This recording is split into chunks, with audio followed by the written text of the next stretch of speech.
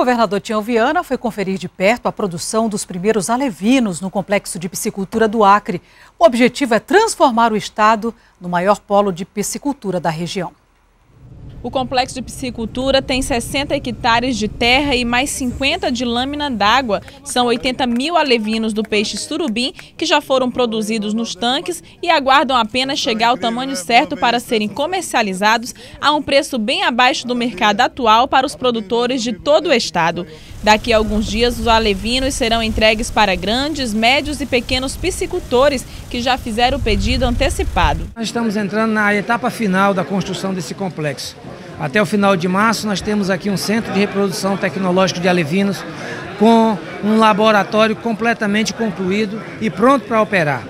Uma fábrica de ração vai estar pronta para receber os seus equipamentos a partir do final do mês de abril. E no final do mês de setembro, o frigorífico. Então, nós vamos ter um complexo industrial aqui que vai obrigar diretamente 600 pessoas trabalhando. Para o presidente da cooperativa dos piscicultores do Acre, Sansão Nogueira, a implantação do complexo no estado só vem a somar neste setor. Estão aí 2.000 a 2.500 famílias de piscicultores que vão produzir esse peixe, comprar esse alevino, comprar essa ração e trazer esse peixe para o frigorífico dessa grande empresa que está se implantando hoje aqui em Rio Branco e está se implantando também uma indústria dessa lá no Vale do Juruá, um frigorífico e um laboratório para produção de alevinos. O complexo de piscicultura é uma iniciativa do governo do estado em parceria com as iniciativas privada e comunitária que formam o Peixes da Amazônia, empresa que vai administrar o complexo.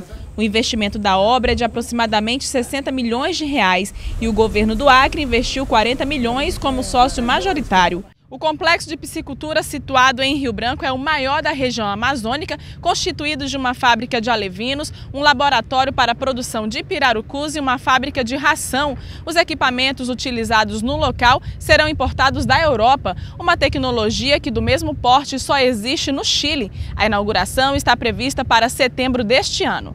É a tecnologia moderna que é empregada em todos os itens. Esse é um complexo que tem uma excelência técnica, uma excelência construtiva. Tudo aqui é projetado com bastante automação, com bastante moderna, com muito conhecimento técnico, com o que tem de melhor real, realmente no Brasil é, de questões técnicas. Tá? Para vocês terem uma noção, a fábrica de ração é totalmente importada, todos os equipamentos vêm da Europa, é o que tem de moderno no mundo. Para o governador Tião Viana, que transformou o desenvolvimento de parte da economia do Estado através da piscicultura em um de seus maiores programas de governo, esse é um momento de se comemorar. O melhor de tudo é que nós estamos alcançando a meta, a meta do prazo.